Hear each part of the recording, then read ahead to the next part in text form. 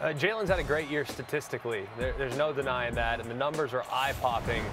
But the, the quarterback advantage in favor of LSU, it's not even close. Uh, I mean, Joe Burrow is head and shoulders above Jalen Hurts in regards to efficiency. Uh, and I know we're talking about numbers. You can give me the QBR and the QB rating and efficiency ratings, all this stuff. But if you look at just driving the ball down the field with accuracy, allowing guys to run in space, not taking sacks, not holding onto the ball too long, hitting open receivers when they're there to be hit, and not turning the football over, which Jalen Hurts has done time and time again in the second half of the season, maybe the biggest discrepancy between LSU and Oklahoma is how Joe Burrow's playing relative to how Jalen Hurts is playing.